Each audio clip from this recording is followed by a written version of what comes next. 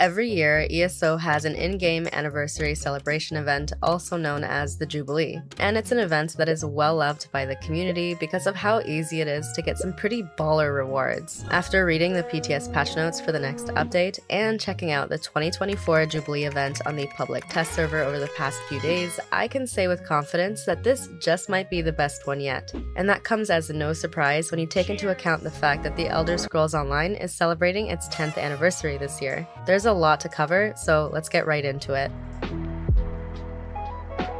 There have been some slight changes made to the annual quest that rewards you with the anniversary cake memento this year. This year's cake is said to be made from 100% pure black marsh chocolates with bright blue toxic marsh slug dye, and I've heard from a few sources that eating this will cause instant death to non-Argonians, so consume it at your own risk. The devs have made it so that interacting with these little event mementos is no longer necessary to obtain the special event experience gain bonuses that they provide. The Jubilee is no exception, as you'll no longer need to eat your Jubilee cake every couple of hours and give your character sudden onset diabetes just to maintain their experience boost. Diabetes!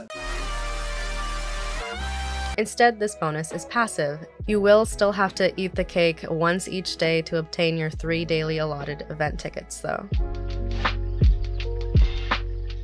The way that the Jubilee event has been structured has varied over the years. This year, if you complete any daily quest in Tamriel, you'll receive an Anniversary Jubilee gift box. A daily quest giver can be easily recognized by the iconic, glowing light blue quest marker that floats above their heads. The most common daily quests that come to mind for a lot of players are the DLC World Boss, World Event, and Delve dailies that you can get from ESO's DLC zones, as these dailies are already well known because of their decent gold farming potential. Of course, some other popular dailies include crafting dailies, also known as writs, which you can obtain from writ boards in major cities, PvP dailies like the Battlegrounds daily or the Cyrodiil Town quests or conquests, or everyone's favorite, pledges. Let's fucking go!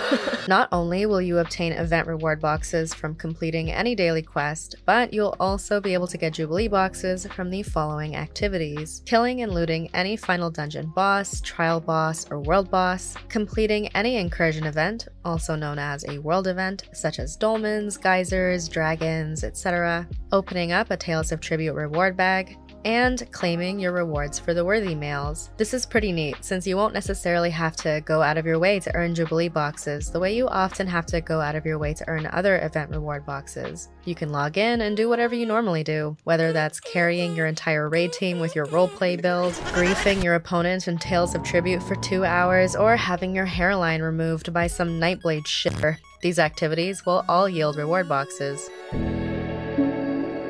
The Anniversary Jubilee gift boxes can drop a variety of rewards, such as crafting materials, recipes, transmute crystals, motifs, and style pages for the new Earthbone Ayleid armor style. Drip check! What do you think about this style? The first reward box that you receive every day will be a glorious version of it, distinguishable by its golden text in your inventory, and it has a significantly higher chance of dropping valuable things, namely the new style page, than the other purple versions of this event box that you'll receive after completing subsequent dailies. I was wondering if we'd get some extra special goodies during this year's Jubilee event, seeing as it is the 10th anniversary and all, and fortunately, my suspicions were spot on. Let's take a look at some of the unique goodies that we can get from this event that we've never been able to earn before. The daily Glorious boxes are guaranteed to reward you with a bound, untradeable fragment for the brand new Jubilee steed that's unique to this event. That's right, fellas, we can earn a mount from participating in this event.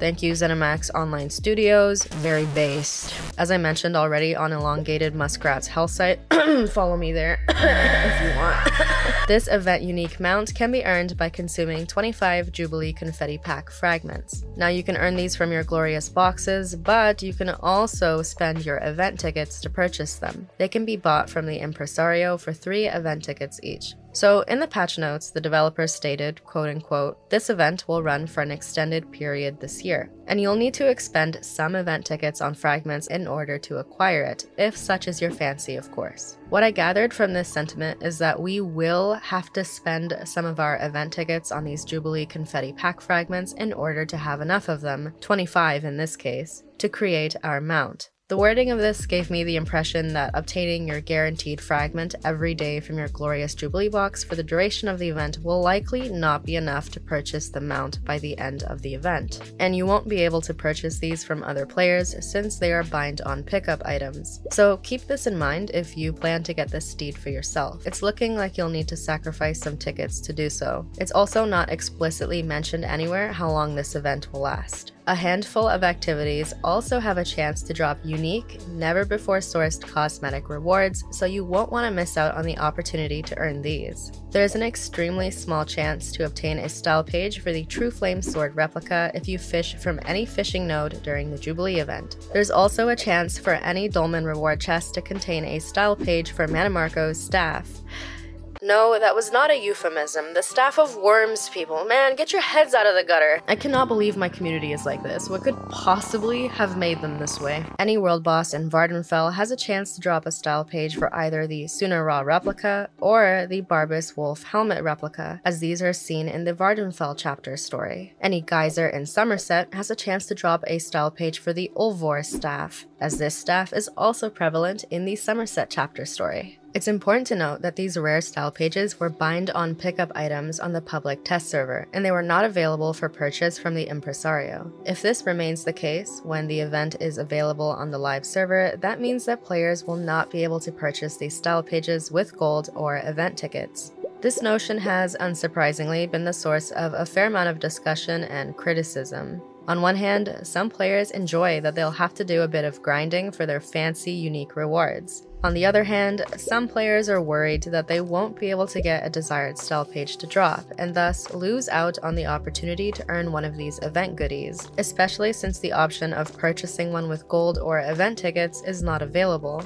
The fact that these items are bound also begs the question are these drops curated? If you get the Barbas Wolf helmet to drop and you keep farming Vvardenfell world bosses, is there a chance that you can get another bound and likewise useless style page for the wolf helmet instead of the Suna-Ra replica style page? If you feel strongly about this predicament, I encourage you to share your feedback with the developers on the forums. I've been saying this for a while now, but I've found it interesting that we are seeing an increasing amount of bound rewards that we can receive from participating in content these days instead of tradable ones. Being the gold obsessed fiend that I am, I of course would much prefer it if I had the option to sell the rewards that I get from participating in content to other players for gold but this may no longer be in line with the developer's vision for the game or its reward system. After all, you can argue that by making items bound, players will be more encouraged to actually participate in the content instead of just buying whatever they want with gold.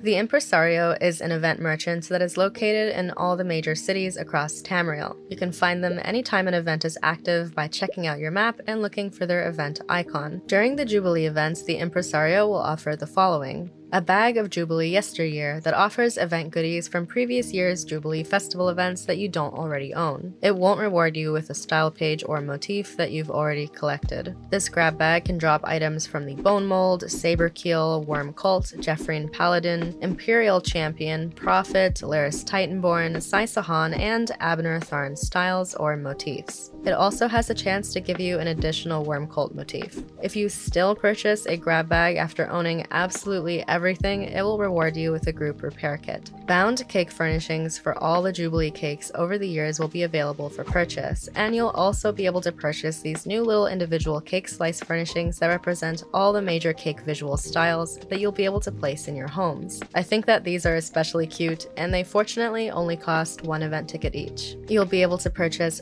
bound style pages for the Earthbone Ayleid armor style, as well as all three fragments for the Molag Bal Illusion Imp pet.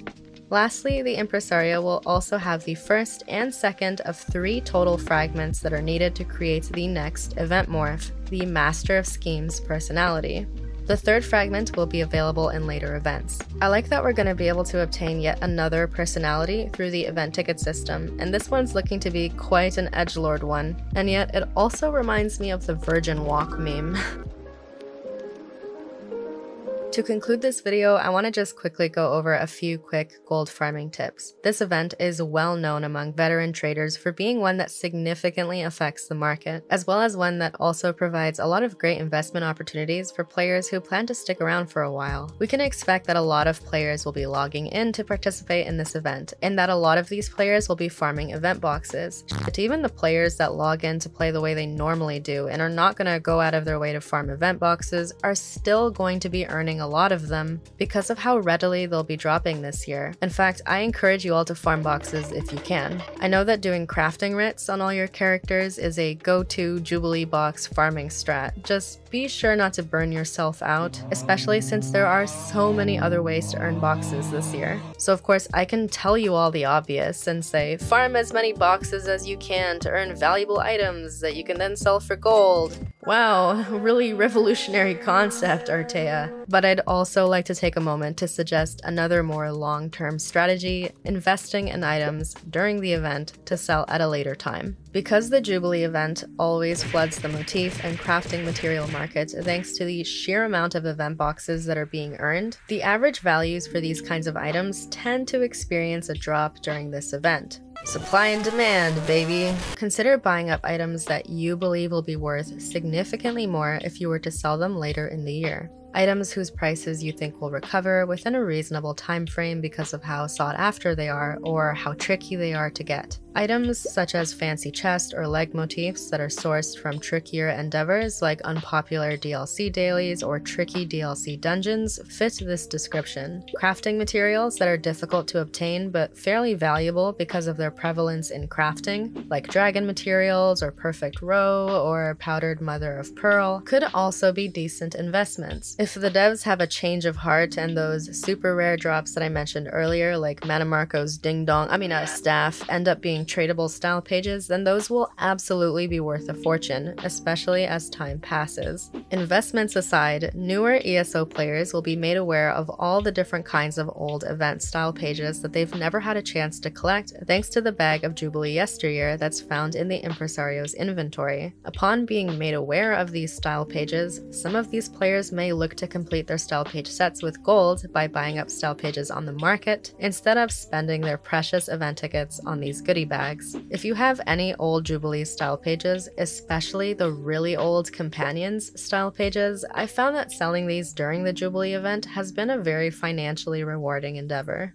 Last year on PCNA, I was able to sell these old companion style pages that I had saved up from many years ago for 200k each, with the nicer looking styles like the Sai Sahan chest style selling for significantly more. You can prepare for this event by checking to see if you have any spare Jubilee style pages or even buying up some fairly cheaply priced ones to resell during the event for more. What do you think about this upcoming event? It was available for testing on the PTS, which means that we can expect it in the next quarter of content. Historically, the Jubilee takes place around the first week of April. Alright, that'll do it for this video. Thank you all for sticking around, and hopefully it was of some use to you. Shout out to my YouTube members for their additional support, and I'll see you gamers in the next video. Cheers!